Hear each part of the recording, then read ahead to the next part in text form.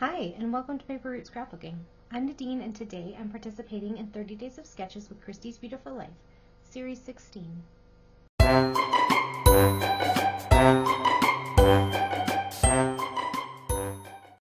Hello everyone, and welcome to my channel. I am playing along with Christy's Beautiful Life 30 Days of Sketches today, so if you are here from Christy's playlist, uh, welcome. I'm so happy to have you here, and thank you for watching so let's just jump right into it. So today's sketch is by Kim Martin.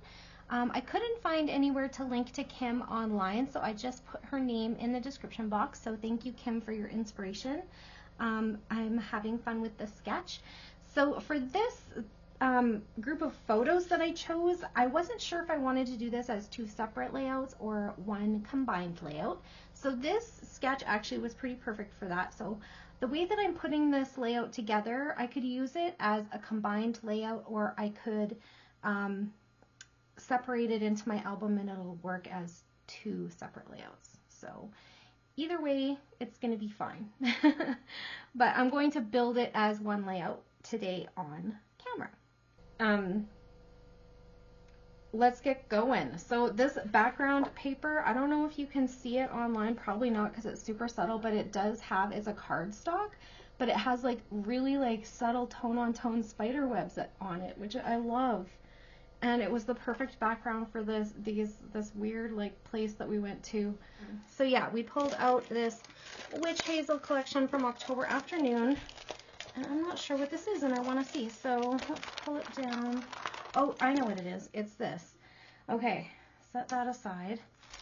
And I've used a lot of the papers from this, so that's fun. And then I'm just going to tuck this back in here if I need it. But, so yes, this one again, I still have quite a few of the alphas. I also have these labels if I need them. And some of them I have added, um, I had like a rub-on sheet. And so I just, instead of letting it um, go to waste because it was getting to where it was like sticking to the packaging and stuff.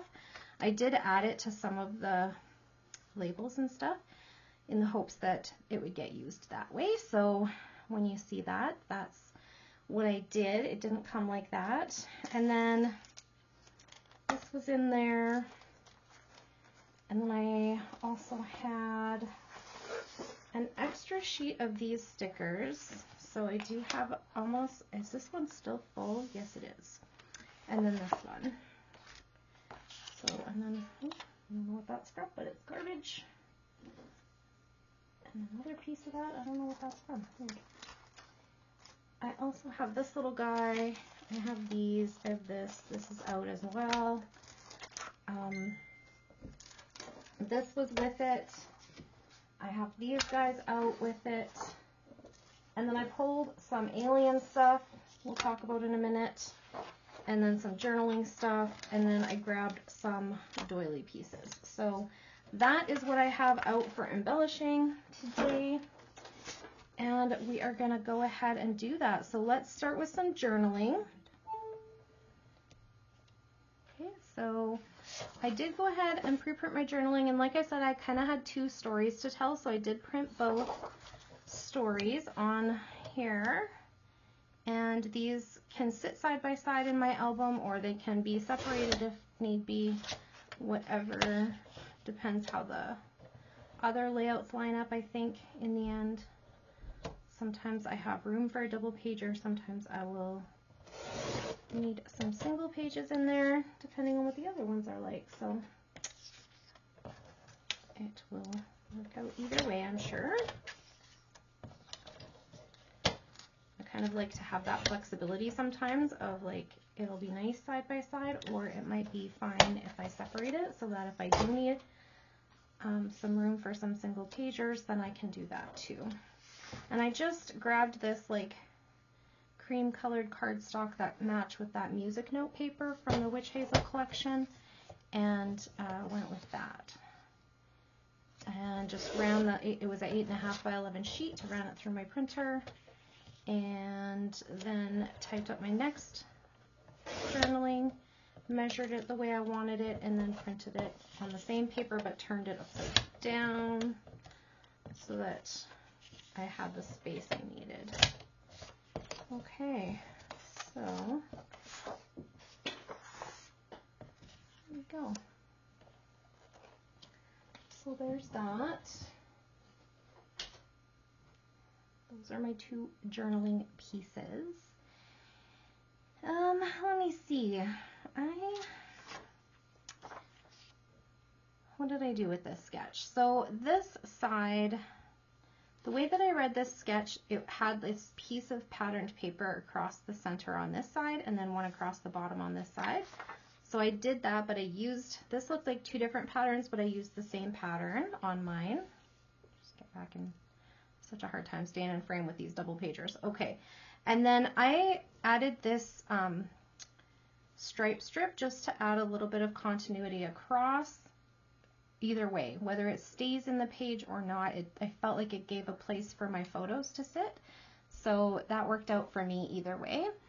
And then I, um, instead of doing this single photo here, I had, I put two photos because I could have done just the photo here because that's what my story is about. But I had this extra photo from that same place and I, and it had the ad for the alien autopsy in the background. So I just put it in the in the layout instead of making a whole second layout for this picture because I didn't really have a story to tell with that one. It was just funny. So I just added it in and then um, made the photo mat big enough for both of them. This one was a bit on an angle. This um, photo mat is all straight, but I did angle my photos a little to like inspired by this. And then she has an embellishment cluster here. So I started an embellishment cluster here. This little, it's like a doily, I guess. It came, I think, in a doily swap from Ginger's Corner. If you haven't been to Ginger's Corner, go check her out on Facebook. They do swaps there, mostly of embellishments and sometimes different things. So this one was specifically just for doilies, and this one looks like it was made from some sort of dye. And uh, it was on this cream newsprint paper, which went really well with the um, music note paper. So um, I must have thrown it in here because it kind of coordinated. So I thought I'm going to use that as like a cluster base. So I put one, I sliced it in half, put one half here and one half over here. And then here it had two um, angled photos. So I took that photo mat idea and brought it over here as well. Um, she didn't do the photo mat on this side, but I decided I was going to bring that same idea onto this side of the um, page. So then I just did that, and then I angled these photos as well, just a little bit. And that is where I started. And then I, um, there was no like stated spot on the sketch for like where the title goes. So I just put my titles in the same place on both sides, just under my photos. Um, this one is auditorium photo ops, and this one says vampire hunting because those are the two stories I wanted to tell. Mm, what else? I think that's it. Okay, so this, we'll talk about this side first. So this side, I told the story. It just says, there were so many funny odo, odo fops. Wow, words are hard, guys. There were so many funny photo ops in this place, but perhaps the most elaborate was the alien autopsy. Who hasn't heard the stories of people that believe they were abducted by extraterrestrials and experimented on and then returned to Earth? Aiden was a good sport for this immersive experience. So my son put his face up into the alien autopsy, and this was like a huge, elaborate photo op area. I thought it was quite the thing. So we uh, took a little picture there. And then this guy was just, like I said, he's standing in front of like what looks like a poster for alien autopsies. So I added him there. So this is the patterned paper I'm going to use to map my photo, or not my photo, my journaling. All the right colors and it's already a scrap. So let me just see, this is about one and a quarter by, hmm, by seven and a half, one and a quarter by seven and a half. So I'm going to do one and three quarters.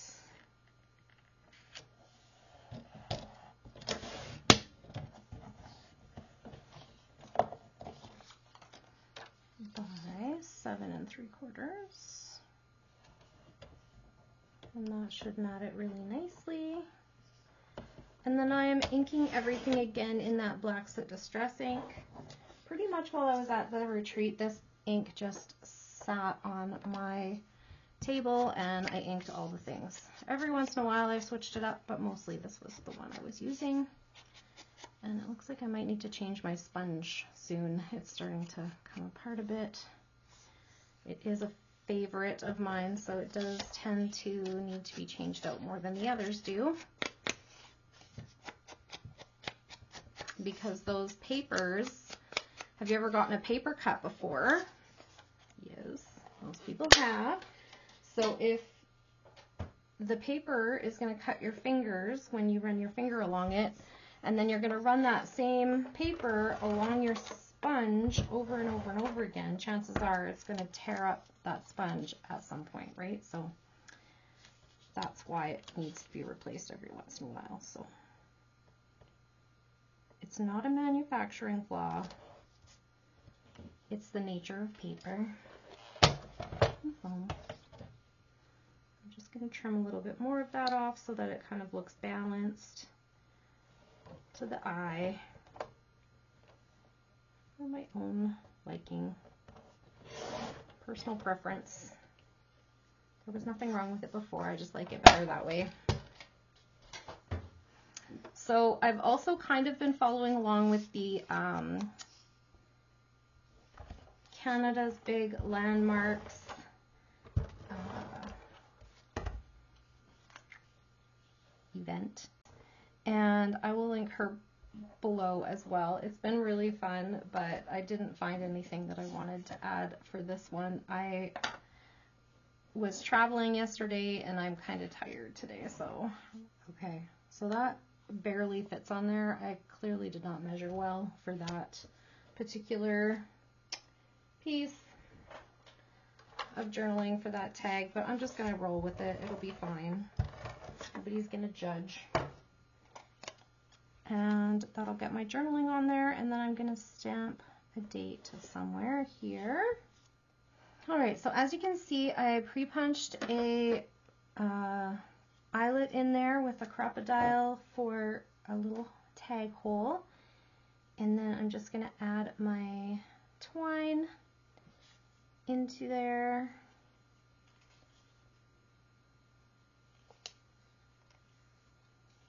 There we go. There's my journaling. All right. So for my date, I'm going to use this little tab piece. And I'm just going to trim because it has like a perforated edge because I think it's meant to be like folded over, but I like to use these, so I'm going to use it twice instead of folding it over. And just going to add a little extra glue to make sure it stays because these are over 10 years old that weird? Okay, so then I have my date. There we go.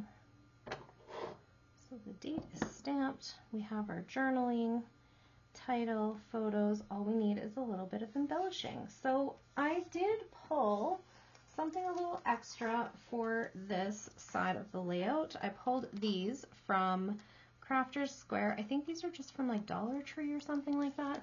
And at first glance, they don't really look like they would go with um, like this, because this is the collection I'm using.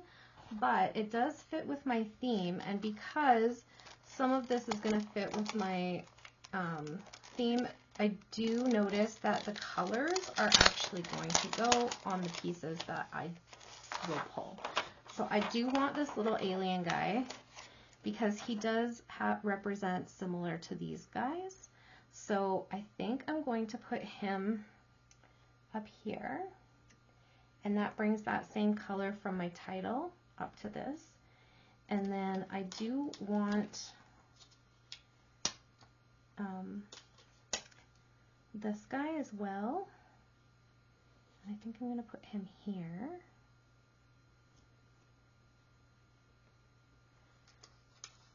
And then there's this moon piece also, but I don't know in the end if I'm actually going to use that. But it would go, right? Because it's got the right kind of like creamy color. But in the end, I don't think that it's necessarily going to be needed. And then I also pulled this. This is old. I think this is from K & Company from a really long time ago from a kid's collection. And I do really like what it says and like I think it fits the theme of the layout really well. So maybe I will put it here. I'm just going to maybe leave it there for a minute and see if I still like it. Because I could always add something right here just to fill in that like dead space. So let's leave that for a second. Okay. And I'm just going to put these off to the side. And then I'm going to pull my sticker sheet and see if there's anything off of here that I want. Um, how about for this side? What do I need? I need something that's like kind of um, maybe this poison piece, but it's that red color that's not really anywhere else, but it is in my stripe strip, so I think I could probably get away with it. Here. And then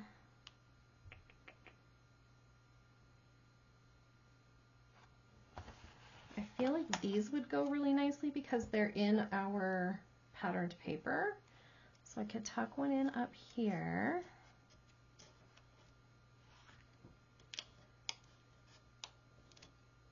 And they're not like Halloween themed, but vampires make me think like almost like mm, royal or wealthy English.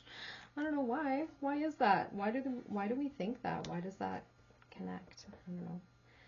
Anyway, fancy wallpaper fits with mansions, I guess. Weird. Weird that I would make that connection. Okay, and then a star would work.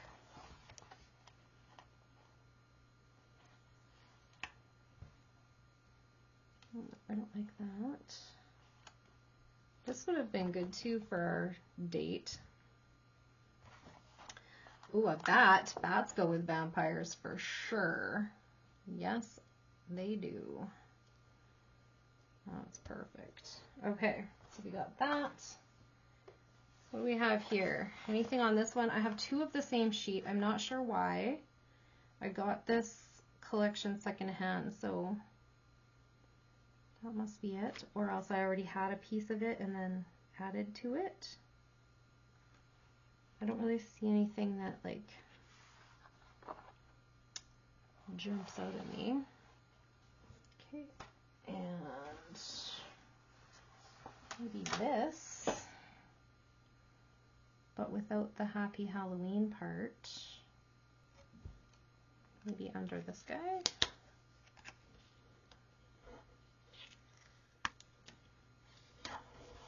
And then this, I might as well do that as well. And this has like this foam adhesive, but it feels a little bit, little bit two-dimensional because the um, there's also dimension in between like the two layers of it. So I'm going to take that off.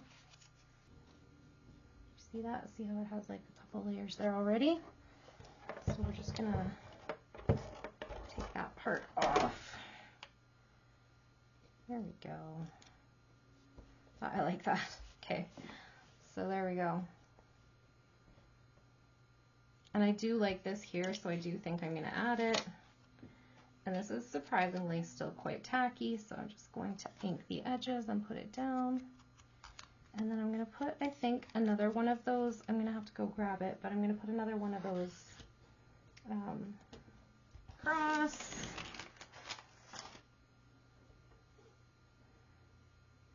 There we go. So it can come down a little bit maybe.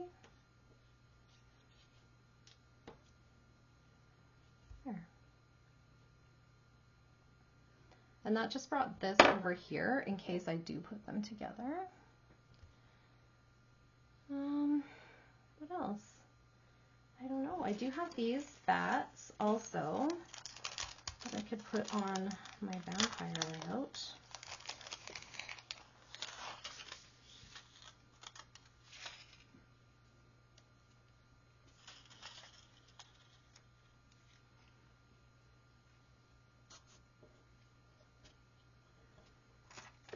Spooky.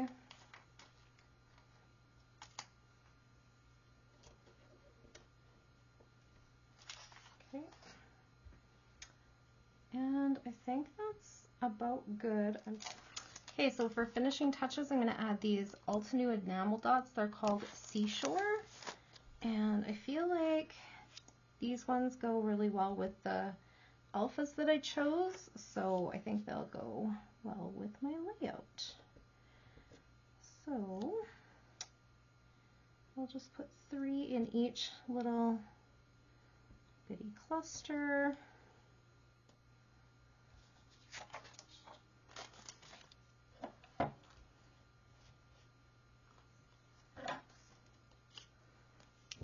Okay, so I just need to stick this tag down with my journaling on it. And I think that's it for my layout today. So thank you so much to everyone who is hanging out with me today. I really appreciate you being here. And if you have any questions or comments, please leave them down below. I do love hearing from you guys. So if you have something to say, please uh, type it in those comments and I will get back to you just as soon as I can. Um, have a great day, everyone. Bye for now.